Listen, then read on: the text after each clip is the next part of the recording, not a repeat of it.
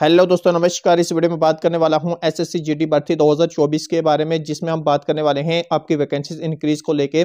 यहाँ पर जो नोटिस जारी हुआ है, उसके ऊपर हम चर्चा करने वाले हैं कि आपकी वैकेंसी इस बार इंक्रीज होंगी या नहीं होंगी और अगर इंक्रीज होंगी तो कितनी इंक्रीज होंगी, ये पूरी डिटेल जानकारी इस वीडियो में मैं आपको देने वाला हूँ। क्योंकि बहुत सारे ऐसे कैंडिडेट्स हैं जिनको ऐसा लग रहा है कि हमारे जो मार्क्स है वो फाइव टू सिक्स मार्क्स कम रह चुके हैं।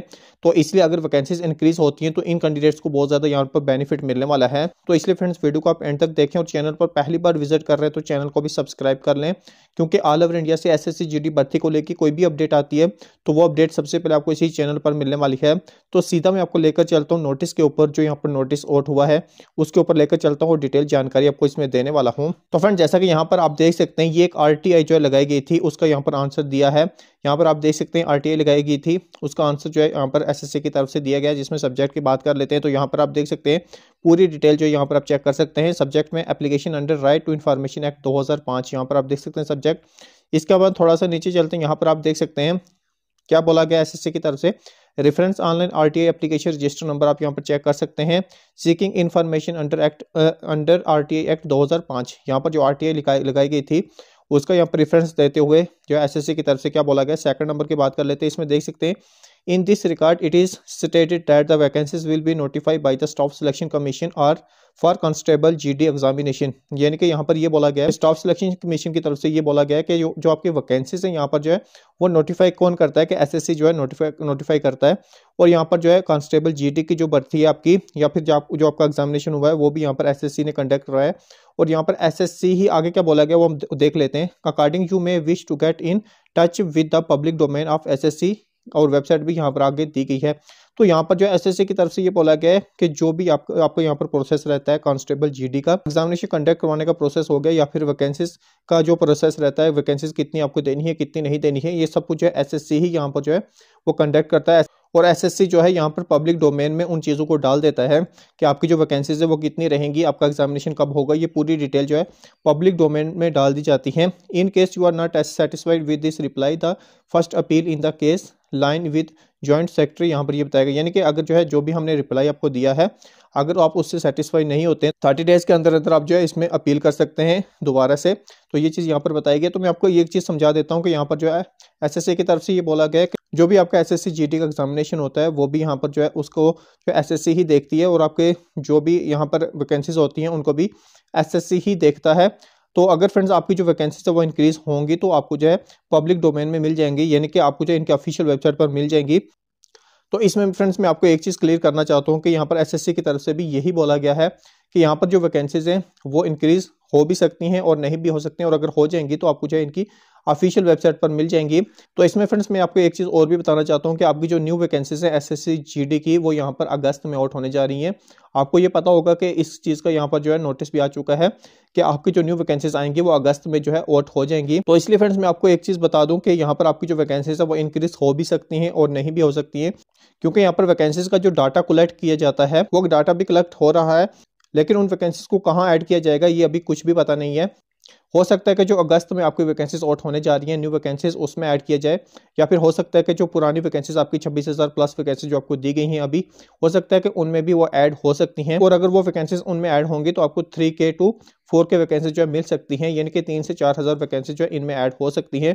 लेकिन अगर ये वैकेंसीज आपको नहीं मिलती हैं, अगर आपकी वैकेंसी इस बार नहीं इंक्रीज होती है तो अगस्त वाली जो आपकी नई भर्ती आने वाली है एस एस की, उनमें जो ये वैकेंसीज ऐड हो जाएँगी। और ये बेनिफिट भी फ्रेंड्स आपको ही मिलने वाला है, क्योंकि अगर ये वैकेंसीज इस अगस्त बर्थ में ऐड हो जाती हैं तो आपको ज़्यादा वैकेंसी जो है वो देखने को मिलेंगी। तो फ्रेंड्स मैं आपको एक चीज़ बताना चाहता हूँ कि अगर जो है आप हंड्रेड मेहनत करने वाले बच्चे हैं आप अच्छे से जो है मेहनत करते हैं फोकस रखते हैं अपनी स्टडी के ऊपर, अपने फ़िज़िकल के ऊपर तो आपको जॉब मिलना बहुत ज़्यादा ईजी है। फ्रेंड्स क्यों ईजी है? मैं आपको एक चीज़ यहाँ पर बता देना चाहता हूँ। थोड़ा सा मैं आपको ये चीज़ बता देना चाहता हूँ कि जो भी मेहनत करने वाले बच्चे हैं, उनके लिए इस बार बहुत ज़्यादा वैकेंसी जो वोट हो रही है, जिसमें सबसे पहले मैं आपको बता दूँ, कुछ बच्चे तो इस बार की जो वैकेंसीज है, जो कि छब्बीस प्लस वैकेंसीज आपको दी गई है, उसमें सेलेक्ट हो जाएँगे। जो इसमें सेलेक्ट नहीं हो पाएँगे, जो पाँच से छः नंबर से जो है नहीं सिलेक्ट हो पाएँगे तो उनको क्या करना है कि अगस्त वाली जो यहाँ पर वैकेंसीज आपकी आउट होने जा रही हैं फ्रेंड्स उसके लिए आपने आज से ही तैयारी करनी है, क्योंकि अगस्त में जो वैकेंसीज आउट होंगी, वो फ्रेंड्स आपको अच्छी खासी वैकेंसी देखने को मिलेंगी। तो इसलिए उन वैकेंसीज के लिए आपने अच्छे से तैयारी करनी है। इसके अलावा फ्रेंड्स आपने जो है, मैं आपको बता दूँ कि यहाँ पर जो है रेलवे में भी कांस्टेबल की जो वैकेंसीज आउट हुई हैं, आरपीएफ की, जो कि लगभग चार हज़ार से जो है अधिक पदों पर जो वैकेंसीज आउट हुई हैं, उसमें भी आपकी जो टेंथ वो पास मांगी गई है। तो फ्रेंड्स, आप उसमें भी फॉर्म अप्लाई करें, क्योंकि वो भी ऑल ओवर इंडिया की जॉब रहती है। तो आप उसमें अप्लाई करें, ताकि फ्रेंड्स आपकी जो है जॉब इस बार 2024 में लग सके। इसके अलावा फ्रेंड्स, मैं आपको बता दूँ कि दिल्ली पुलिस में भी वैकेंसीज आने वाली हैं। लगभग 9000 से अधिक पदों पर जो वैकेंसीज है, वो आपको यहाँ पर दिल्ली पुलिस में भी देखने को मिलेगी, जो कि अगस्त मंथ में आपका जो नोटिफिकेशन है, वो आउट हो जाएगा। उसके ऊपर डिटेल वीडियो में बनाने वाला हूँ, वो भी आप अच्छे से देखें। तो वो भी कांस्टेबल की जो है वैकेंसीज आपकी आउट होने जा रही हैं 2024 की।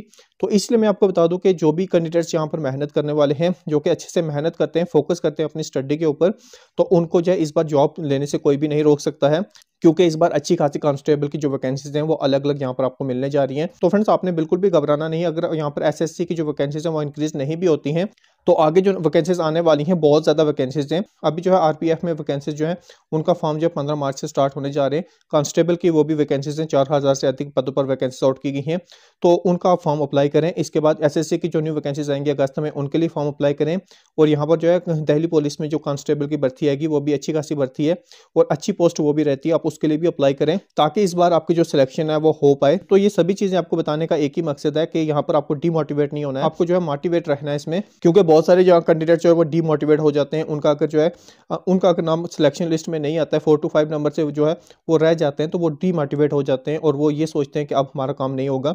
लेकिन फ्रेंड्स मैं आपको बता दूँ कि सबसे अच्छी अपॉर्चुनिटी आपको 2024 में मिलने जा रही है, क्योंकि 2024 में अच्छी खासी वैकेंसीज फ्रेंड्स आपके लिए आ रही हैं।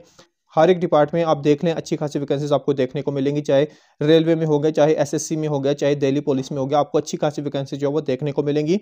तो इसलिए फ्रेंड्स आपने सिर्फ़ और सिर्फ़ एक पोस्ट अपने लिए रिज़र्व करनी है, यानी कि एक पोस्ट ही आपको चाहिए तो आपकी नौकरी यहाँ पर डन हो सकती है। तो इसलिए एक पोस्ट के लिए फ्रेंड्स आपने इन सभी में फॉर्म अप्लाई करना है, लेकिन उसके साथ साथ आपने मेहनत करनी है। अगर आपकी मेहनत होगी तो आप जो अच्छे से यहाँ पर नंबर अपना ला सकते हैं। आपको एक जो है, आपको नौकरी जो है मिल सकती है 2024 में। तो जितना हो सके आप वीडियो को लाइक करके शेयर भी करें अपने दोस्तों के साथ ताकि उनको भी अपडेट मिल सके और वो भी ये वीडियो देख के मोटिवेट हो सके। इसके अलावा कोई भी परेशानी, कोई भी डाउट आपके माइंड में रहता है तो कमेंट करके आप पूछ भी सकते हैं। मिलते हैं नेक्स्ट वीडियो में एक न्यू अपडेट के साथ। तब तक के लिए बाय टेक केयर